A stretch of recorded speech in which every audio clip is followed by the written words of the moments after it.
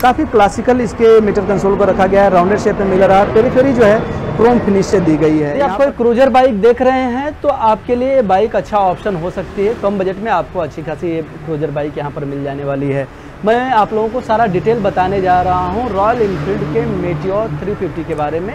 इसका सारा features price और कलर ऑप्शन सब कुछ हम लोग डिटेल में जानने वाले हैं। इस बाइक को देखिए, काफ़ी खूबसूरत दिख रही है। मैट ब्लैक कलर है। Matte black colour actually matte colour बहुत कम अवेलेबल होते हैं। यहाँ पर आपको ये मैट ब्लैक कलर मिल रहा है। तो जिसकी वजह से इसका जो लुक है काफ़ी डिफरेंट हो जा रहा है। इसके साथ यहाँ पर आप देखिए क्रोम फिनिश का जो ये हाईलाइटर यहाँ पर मिल रहा है रॉयल एनफील्ड के ब्रांडिंग के साथ में, ये भी अपने आप में अद्वितीय इसका लुक बना दे रहा है। तो इसका मैं आप लोगों को एग्जॉस्ट साउंड सुना देता हूँ, फिर हम लोग इसके डिटेल पर आते हैं। इसको ऑन करते हैं। और ऑन करने के लिए इसमें आपको मिल जाता है रोटेटरी किल स्विच यहाँ पर आप देखिए, कुछ इस तरह से आप इसको ऑन कर सकते हैं और ये आपको स्टार्ट करने के लिए ऑप्शन मिल जाता है।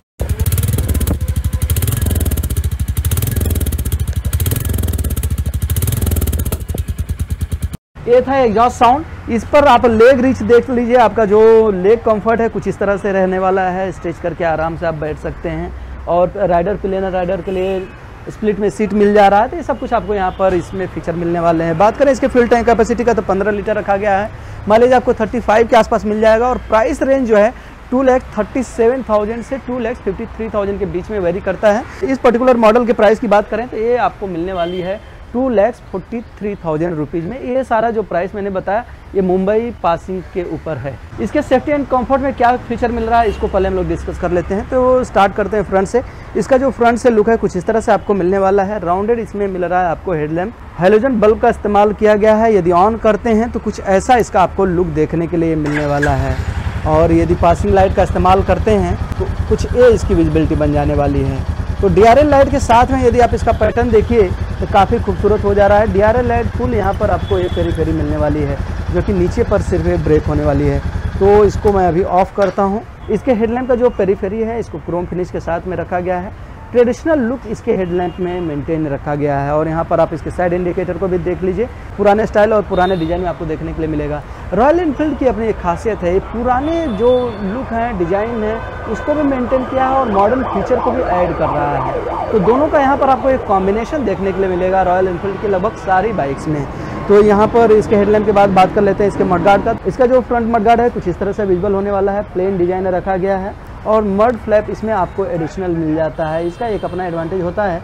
कभी क्या होता है, यदि आप खड्डे से निकल रहे हैं या कुछ ऐसा थोड़ा सा ऊँचा सरफेस आपको मिला तो ये मड फ्लैप जो है टूट जाता है। तो यहाँ पर सिर्फ़ आपको इतना ही चेंज करना है। पूरा आपको मडगार्ड चेंज करने की ज़रूरत नहीं होगी। तो ये एक अच्छी बात हो जाती है।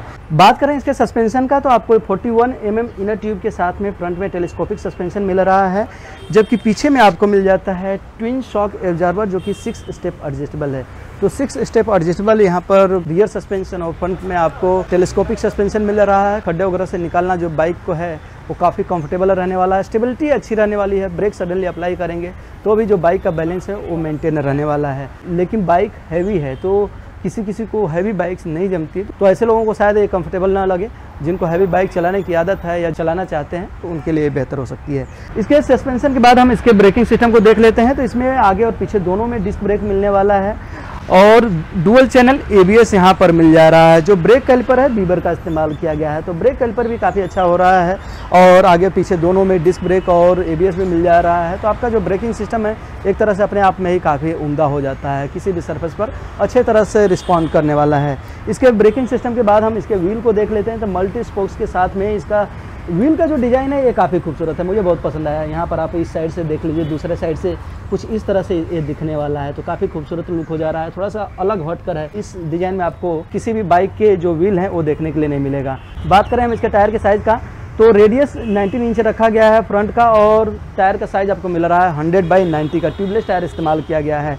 जबकि रियर टायर इसका जो है, थोड़ा सा वाइड मिलने वाला है 140 बाई सेवेंटी का इस्तेमाल किया गया है। रेडियस आपको 17 इंच का मिलने वाला है। तो क्रूजर बाइक की एक अपनी पहचान होती है कि फ्रंट टायर जो है वो थोड़ा सा आपको बड़ा मिलने वाला होता है और रियर टायर थोड़ा छोटा हो जाता है। तो जिसकी वजह से आपका जो कंफर्ट है वो काफ़ी अच्छा होता है और ऑफ़ रोडिंग वगैरह आसान हो जाता है। तो तो इस पर्पज़ से थोड़ा सा टायर के साइज़ में आपको ये डिफरेंस देखने के लिए मिलने वाला है। तो व्हील सस्पेंशन ब्रेक के बाद आ जाते हैं हम, इसके दूसरे फीचर्स को डिस्कस कर लेते हैं। तो फ्यूल टैंक के शेप को यहाँ पर देखते हैं। कुछ इस तरह से आपको फ्यूल टैंक का शेप देखने के लिए मिलने वाला है। राइडर के साइड में थोड़ा सा नैरो डिज़ाइन रखा जाता है, ताकि एयर रेजिस्टेंस को भी न्यूट्रलाइज कर सकें और इसके साथ साथ लेग रिज भी जो है आसान हो जाए। इसके फ्यूल टैंक के लेग को देख लीजिए। क्रोम फिनिश के साथ में आ रहा था ब्लैक एंड क्रोम का जो यहाँ पर कॉम्बिनेशन है ये काफ़ी ब्यूटीफुल हो जा रहा है और यहाँ पर मैंने आप लोगों को पहले भी दिखाया था। रॉयल इनफील्ड का जो ब्रांडिंग है, कुछ इस तरह से मिलने वाला है। काफ़ी रॉयल लुक आ रहा है थ्री में इसको रखा गया है। इंजन मिल रहा है आपको डायमंड कट में और यहाँ पर ब्लैक कलर से इसको रखा गया है और लॉन्ग साइलेंसर रखा गया है। स्टील फिनिश इसको दिया गया है और इसकी जो कवरिंग है, ये भी आपको स्टील फिनिश में आ रही है। इस पर ज़्यादा वेंटिलेशन देने की कोशिश नहीं की गई। फ्लैट डिज़ाइन रखा गया है। हीट सर्कुलेशन के लिए पर्याप्त यहाँ पर आपको स्पेस मिल जाने वाला है इसके नीचे के साइड में।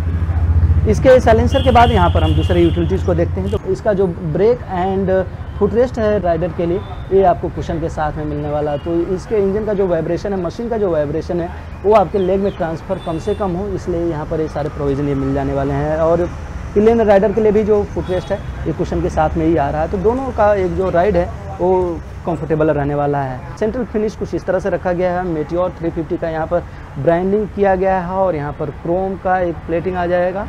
और सीटिंग अरेंजमेंट की बात करें तो राइडर के लिए तो काफ़ी अच्छा खासा यहाँ पर आपको वाइड सीट मिल रही है। पिलेन राइडर का जो सीट है, ये नैरो हो जाता है। एक्चुअली जब लॉन्ग राइड पे जाते हैं तो पिलेन राइडर के लिए थोड़ा सा अनकंफर्टेबल हो जाता है। लेकिन फिर भी आपका जो कंफर्ट है, इसके वजह से आपका बढ़ जाने वाला है। बैक रेस्ट की वजह से पिलेन राइडर को भी आराम मिल जाने वाला है बैक पर। तो कुछ ये यहाँ पर आपको बंदोबस्त देखने के लिए मिलेगा। आ जाते हैं हम इसके रियर प्रोफ़ाइल पर। तो इसका जो टेल लाइट है, ये काफ़ी खूबसूरत है। आपको कन्वेंशनल डिज़ाइन में मिल रहा है, लेकिन मॉडर्न फीचर इसमें ऐड है। मतलब यहाँ पर अभी आपको एलईडी लाइट मिल रही है। शार्पनेस काफ़ी अच्छा रहने वाला है। लुक जो है, वही पुराना रखा गया है। क्रोम फिनिश से इसकी पेरीफेरी है और इसका जो ओवरऑल अपियरेंस है कुछ ऐसे रहने वाला है। साइड इंडिकेटर और रियर रिफ्लेक्टर दे दिया गया है। और लेफ़्ट साइड में आप देखिए तो यहाँ पर आ रहा है लेडीज़ फुटरेस्ट और सारी गार्ड जो कि फुल इसके व्हील को एक कवरिंग दे रहा है तो किसी भी तरह से साड़ी और दुपट्टा के अंदर जाने की जो चांसेस है, ये नहीं रहने वाले हैं। फुल यहाँ पर कवरिंग मिल रहा है और इसके साथ साथ लेडीज़ फुटरेस दे दिया गया है, जिसकी वजह से फैमिली के साथ में भी आपका जो ट्रेवलिंग एक्सपीरियंस है, वो अच्छा रहने वाला है। और इसमें अभी ऐड कर दिया गया है side stand cut off sensor जो कि अगेन यदि आपने सिंगल स्टैंड पर गाड़ी खड़ा किया है और जल्दबाजी में लेकर निकलते हैं तो आपकी गाड़ी जो है आगे नहीं बढ़ने वाली है। तो इसमें सेफ्टी एंड कंफर्ट में ये सारे फीचर्स थे।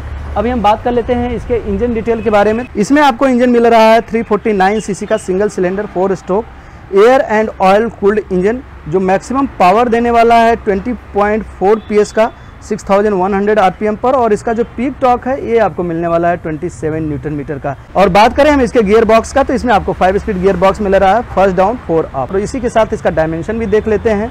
तो इसका जो ग्राउंड क्लियरेंस है, ये आपको मिलने वाला है 170 mm का और इसका व्हील बेस रखा गया है 1400 mm और बात करें हम इसके सीट हाइट का तो ये रखा गया है 765 mm का। 765 mm का जो हाइट है, बहुत कम हो जाता है। किसी भी हाइट के आदमी के लिए इस बाइक को कंट्रोल करना और चलाना आसान रहने वाला है लेग रीच के कंसर्न में। तो ये सारा डिटेल था इसके इंजन और डायमेंशन का। अभी मैं आप लोगों को इसका मीटर कंसोल दिखा देता हूँ। तो इसको मैं फिर से रीस्टार्ट करता हूँ काफ़ी क्लासिकल इसके मीटर कंसोल को रखा गया है। राउंडेड शेप में मिल रहा। है पेरीफेरी जो है क्रोम फिनिश से दी गई है। यहाँ पर डिजिटल में इंफॉर्मेशन मिल जाएगा गियर शिफ्ट का, और टाइम आप देख सकते हैं, और इसके साथ साथ आप इसमें ट्रिप का भी इंफॉर्मेशन ले सकते हैं। और एनालॉग में रखा गया है इसके स्पीड को, और यहाँ पर आप नीचे आइकॉन से देख सकते हैं एबीएस इंडिकेशन आपको मिलने वाला है। Engine check light gear indication और बैटरी और फ्यूल सब कुछ यहाँ पर आपको ये सारे इन्फॉर्मेशन मिलने वाले हैं इसके मीटर कंसोल में। अब इसके मीटर कंसोल के बाद हम बात कर लेते हैं कंट्रोल स्विचेस का। तो यहाँ पर आपको इन्फॉर्मेशन का स्विच मिल रहा है, और तीन स्विच यहाँ पर मिल रहे हैं। रोटेटरी मिल जा रहा है हेडलैम्प के लिए अपर एंड डीपर और इसके साथ साथ पासिंग लाइट का आप इस्तेमाल कर सकते हैं। लेफ़्ट राइट का इंडिकेटर और यहाँ पर हॉर्न और राइट साइड में आपको ये दो स्विच मिल जाता है, किल स्विच और यहाँ पर आपको पार्किंग लाइट के लिए यदि आप टनल वगैरह से पास हो रहे हैं या लो विजिबिलिटी एरिया से गुजर रहे हैं तो ये लाइट जो है काफ़ी अच्छा काम करती है। सिंगल रेसिंग बार रखा गया है और इसका जो ग्रिप है, ये आपको सॉफ्ट टच के साथ मिल रहा है। और इसके रियर व्यू मिरर को देख लीजिए कन्वेंशनल डिज़ाइन में रखा गया है राउंडेड शेप है और इसका जो बेस है, ये मिल रहा है आपको ब्लैक कलर से। तो ये सारा डिटेल था इस बाइक के बारे में।